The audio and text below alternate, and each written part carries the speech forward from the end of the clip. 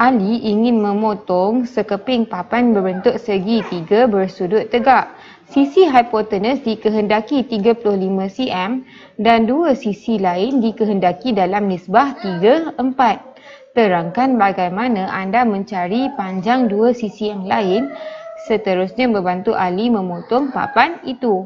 Sekarang ni, dia ada segitiga bersudut tegak di mana sini ialah 35 cm dan dia kata nisbah nisbah untuk dua sisi ialah 3 dan 4 di mana kita tahu sini 3 sini 4 kalau ikut nisbah ni kalau kita guna okey kalau kita guna nisbah kita tahu bertentangan dengan sini ialah Pythagoras theorem. Di mana C kuasa 2 sama dengan A kuasa 2 tambah B kuasa 2 di mana A dan B ialah uh, sisi sudut tegak.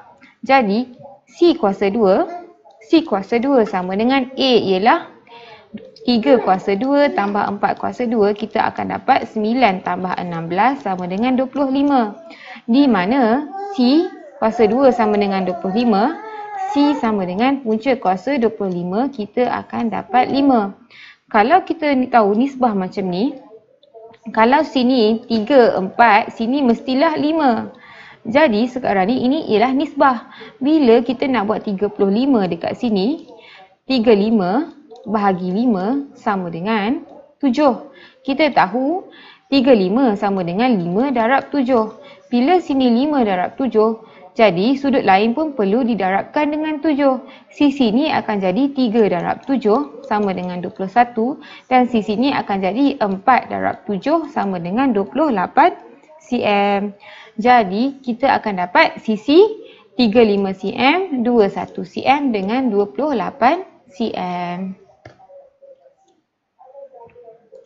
Satu gelung benang ditanda dengan 12 titik supaya titik-titik bersebelahan ialah sama jarak antara satu sama lain.